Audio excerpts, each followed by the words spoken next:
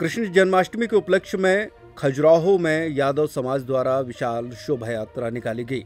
जिसमें राजनगर गोकुल धाम माता मंदिर से राजनगर में रामबाग चौराहे से होते हुए बस स्टैंड, शक्ति की मड़िया और खजुराहो, मतंगेश्वर महादेव ये शोभा यात्रा पहुँची।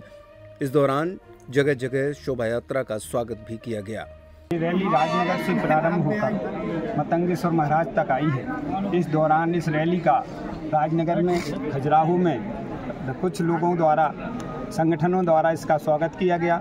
जी यादव समाज का कार्यक्रम है, जिसको जन्माष्टमी के अवसर पर रखा गया। क्योंकि प्रति वर्ष पूर्व में भी इसको रखा गया था, इस बार और ही इसको थोड़ा सा इसमें हमारे जिला के मोनू भैया हैं, अवधेश भैया हैं, इनका भी सहयोग रहा। जो हमारे क्षेत्र से, ग्रामीण क्षेत्र से सभी भाई और हमारे कक्का भैया, सभी जने आए हुए हैं। आज हमारे आराध्य भगवान श्री कृष्ण का जन्मोत्सव है, ठीक है?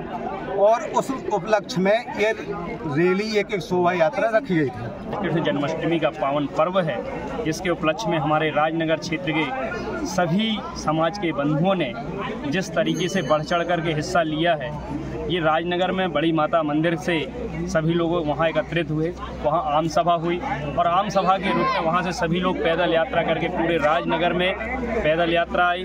बाज़ार से होते हुए खजुराहो में भगवान मतंगेश्वर के चरणों में सभी लोगों ने यहाँ पे भगवान श्री कृष्ण की शोभा यात्रा का समापन हुआ। जगह जगह जगह जगह स्वागत भी हुआ।